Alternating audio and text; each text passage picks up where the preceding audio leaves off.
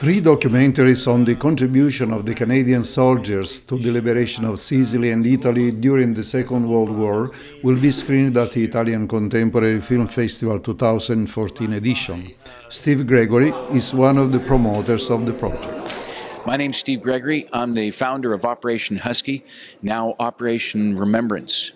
Operation Remembrance is a 10 year project, a binational project of remembrance. The idea is to bring our students together with Italian students to better understand the sacrifices made by our countries that's, that is on both sides.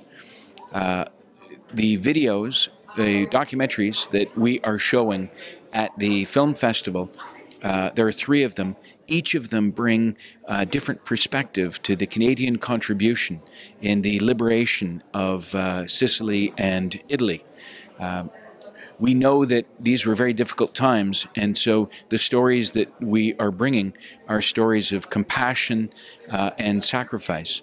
Uh, one of the videos, the, the documentaries, is uh, of my own project last summer, Operation Husky, where we brought hundreds of Canadians back to Sicily and walked for 21 days across the uh, Sicilian plains uh, for the purpose of honoring our fallen and we hope you can make it. We're very grateful to to Cristiano for inviting us to be a part of the film festival, and we've had tremendous support from.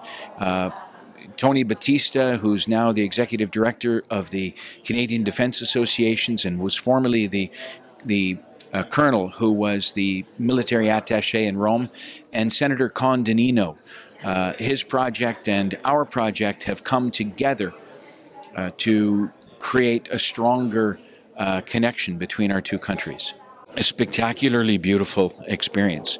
Uh, my son's project, when he was 10, was the catalyst for this idea.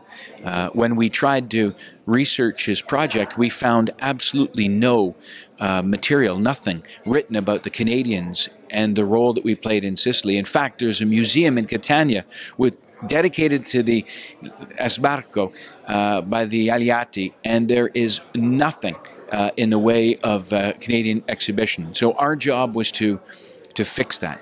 Uh, we walked across the country. It took us 20 days. Uh, we did 25 ceremonies in 19 towns, and uh, it ended with a roll call in the cemetery at Agira.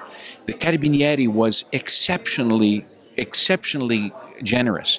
They filmed it from the air. We had 650 people in the cemetery that day in the, the beautiful sun.